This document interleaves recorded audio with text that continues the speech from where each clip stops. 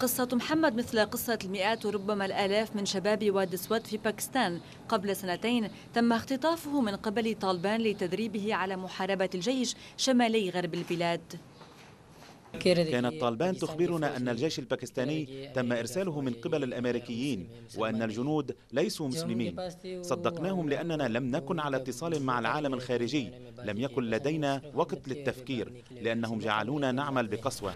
تمكن من الهرب وهو اليوم واحد من سبعين طالب في مركز الجيش لمحاربة التطرف وغسل دماغ الشباب. علماء النفس والمستشارون ومعلمو الدين يساعدون الرجال على إعادة تقييم دعاية طالبان الجهاد لا يعني أن نمسك السيف ونبدأ بقتل الناس.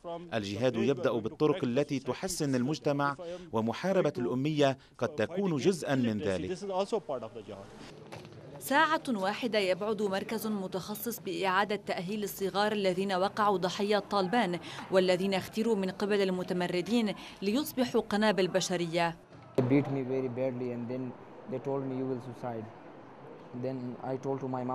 ضربوني وقالوا لي ستنتحر. قلت لأمي ما قالوه لي. فاتصلت بوالدي الذي جاء وأخذني إلى كاراتشي حيث تم اعتقالي عند نقطة التفتيش.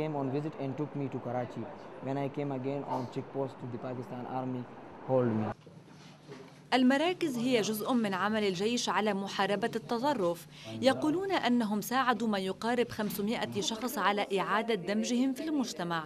في العام 2009 وبعد تمرد استمر عامين أعلن الجيش إعادة سيطرته على وادي سوات ولكن تجارب هؤلاء الشباب تشير إلى أن المعركة لم تنتهي بعد.